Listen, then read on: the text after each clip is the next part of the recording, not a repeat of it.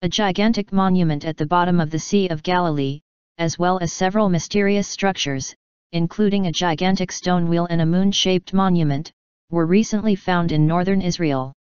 The mysterious structures have left archaeologists around the world bewildered. Who built them and what were they used for? They may be some of Israel's most mysterious structures. They are easy to miss from the roadside but can clearly be seen from the skies or beneath the sea.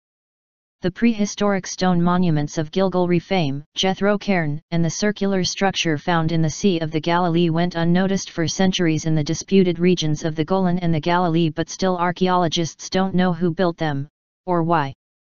Theories have gone wild and include ancient calendars, ceremonial structures, or sky burial sites in which dead bodies were placed on top of stone mounds to be picked apart by vultures. Even more eluding is that there are no archaeological evidence of a city near them, and some have therefore posited that the structures is in fact a huge monument carrying symbolic significance. The possible age of the structures is even more enigmatic and many put the estimate anywhere between 3,000 and 12,000 years old, making them older than the Pyramid of Giza and Stonehenge in Great Britain. The only thing we can say with certainty is that they are there and they are huge. In 2014 Israeli archaeologist reported of a crescent-shaped stone monument larger than a football field in northern Israel. At about 150 meters in length and 7 meters in height, the monument, dubbed Jethro Cairn, can be seen on satellite images.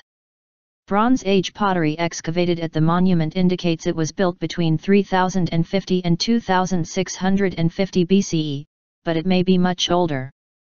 The monument's shape, a crescent, may have been chosen to symbolize the ancient Mesopotamian moon god Sin. The moon god Sin or Nanna was the special guardian deity of the Chaldeans who lived in the ancient city of Ur. Once a center of worship of the moon god, the site's most prominent feature is still a temple tower, or ziggurat, some 61 m long, 46 m wide, and 21 m high.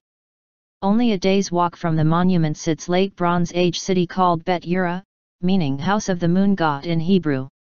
Another 13 kilometers southeast of the monument another enigmatic monument was discovered, this time below the sea level.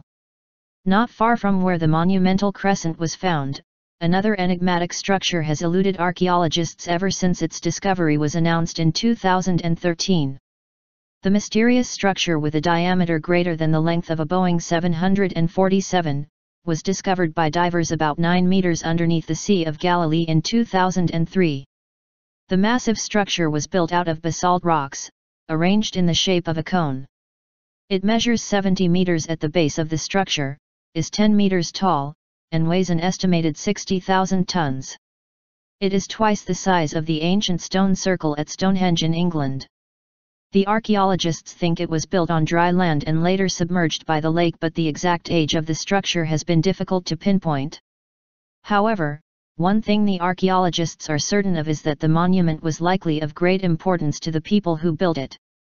The nearest basalt outcrop was a few hundred meters from the site, and the stones, which were 1 to 2 meters in width, would have weighed over 90 kilograms at times. The prehistoric monument known as Gilgal Rephaim was another Herculean task to build.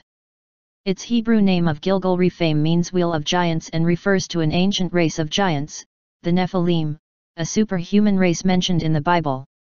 The gigantic monument deserves its name since it is made up of more than 42,000 basalt rocks arranged in five concentric circles that together weigh over 40,000 tons. The complex has a 4.5 meter burial chamber at the center of five circles, the largest of which measures more than 152 meters wide. Standing on the ground inside the complex, it looks like a labyrinth of crumbling stone walls. Only from the air does the impressive shape of a massive bullseye clearly emerge. Some of the circles are complete and others are not, suggesting it may have been laid out in accordance with astronomical patterns. On the shortest and longest days of the year, the June and December solstices, the sunrise lines up with openings in the rocks. The possible purpose for these structures remains an enigma but the monuments were evidently of great importance to the people who built them. It's unique to transport these stones and unique to arrange them. You need to plan and to mobilize people, because they're too heavy to be carried by a single person.